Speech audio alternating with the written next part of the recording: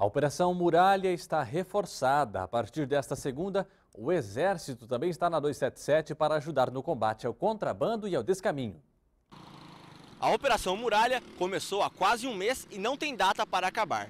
Ela é realizada por servidores da Receita Federal em parceria com diversos órgãos de segurança, incluindo as polícias Rodoviária Federal, Polícia Militar, Polícia Civil, Marinha e agora com o Exército, que vai auxiliar na proteção aos fiscais que ficam aqui na Praça de Pedágio de São Miguel do Iguaçu.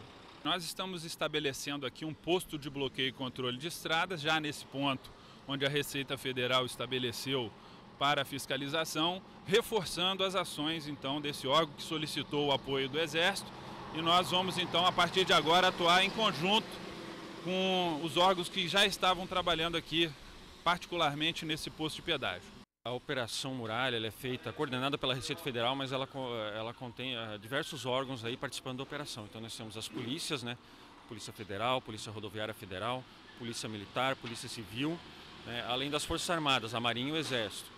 E no dia de hoje o Exército entra efetivamente na operação com as forças aqui, um pelotão atuando na região aqui do pedágio.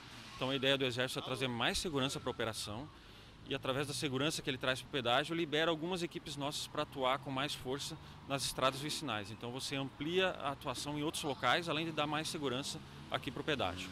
Durante a operação, já foram apreendidos mais de 3 milhões de reais em mercadorias foram 65 veículos, 2.782 toneladas de maconha, 113 mil comprimidos e unidades de medicamentos, duas armas, 794 munições e 29 prisões em flagrante.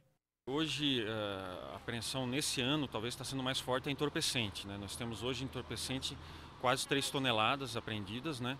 Isso é um número bem maior do que foi aprendido, por exemplo, no ano passado, em 100 dias de operações. Eh, hoje estamos completando 26 dias, né?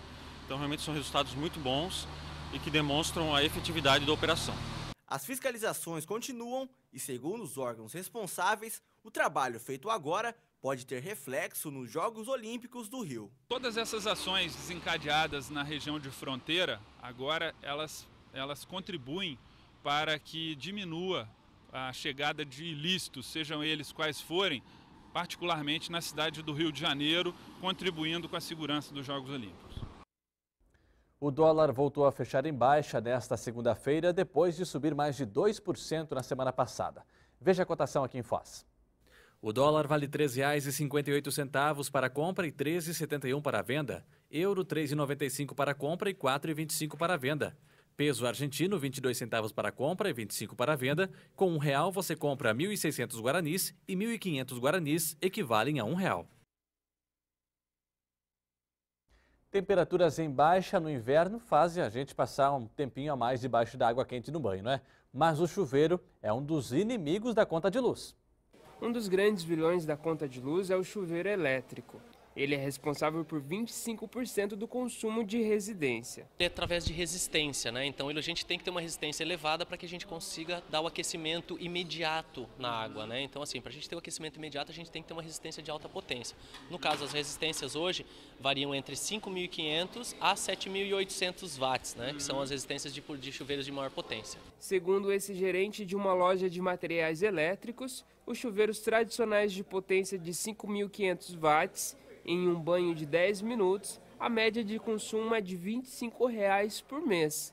Já os mais modernos, de 7.500 watts, o consumo é de 30 reais mensal, em banhos de 10 minutos também. Principalmente nos chuveiros tradicionais, eles têm a questão frio, morno e quente, que seria verão, inverno, é, verão outono e inverno, né?